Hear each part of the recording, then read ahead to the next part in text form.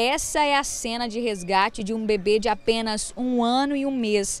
Esse danadinho chamado João entrou no banheiro, abriu a gaveta e acabou travando a porta.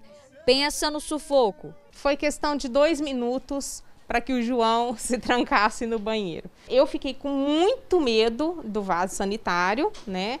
É, mas é, eu consegui me controlar porque eu sabia que eu tinha que passar tranquilidade para ele. A Mariana estava fazendo um atendimento num cômodo e a funcionária estava limpando o outro quando o João veio aqui para dentro desse banheiro, fechou a porta e abriu essa gaveta, impedindo o acesso a este cômodo. E o principal medo da Mariana era de que o João viesse até o vaso sanitário.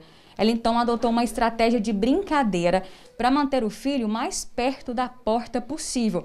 Ela começou a passar papéis coloridos por debaixo da porta, ele ia devolvendo e ela manteve essa brincadeira por meia hora até a chegada do corpo de bombeiros.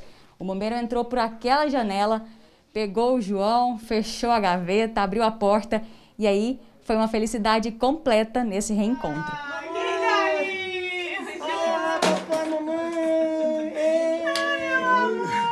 Sentimento de alívio muito grande e gratidão, né? Gratidão pelo trabalho desses profissionais, que foi excelente, gratidão a Deus, principalmente por ter olhado meu filho ali naquele momento, né?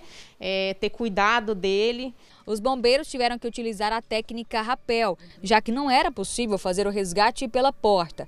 São 40 metros de altura até o 13º andar.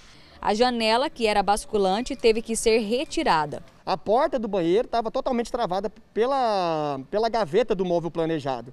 Né? Então, depois de inúmeras tentativas, a gente percebeu que não seria viável, poderia vir a causar algum risco para a criança, está muito próximo à porta, a gente não poderia acessar ali de maneira forçada. Esse tipo de ocorrência tem sido registrado com frequência aqui na capital.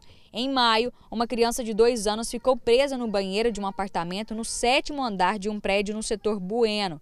O bombeiro que realizou o resgate filmou o momento em que ele entrou pela janela para tirar a menina do local. Apesar do susto, ela não se feriu. A menina fez a mesma coisa que o João. Abriu a gaveta e travou a porta.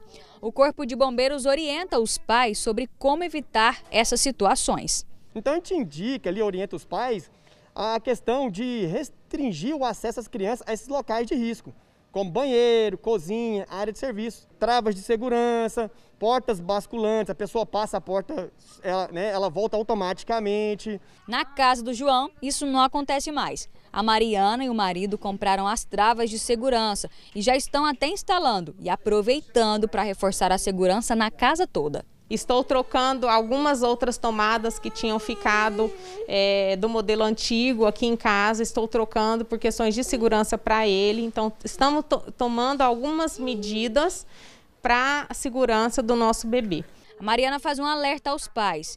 Basta um minuto de distração para esses pequenos que ainda estão descobrindo o mundo aprontar uma arte daquelas conviver com seu filho, de, de perceber, principalmente nessa idade de, de descobertas, de desenvolvimento, né? O que, que cada criança faz, quais são os qual é a sua personalidade, como é seu jeitinho, né? Até no momento de acalmá-lo, né? Traz uma brincadeira que envolva a criança e tudo. Então é muito importante esse contato, esse conhecimento com o seu filho.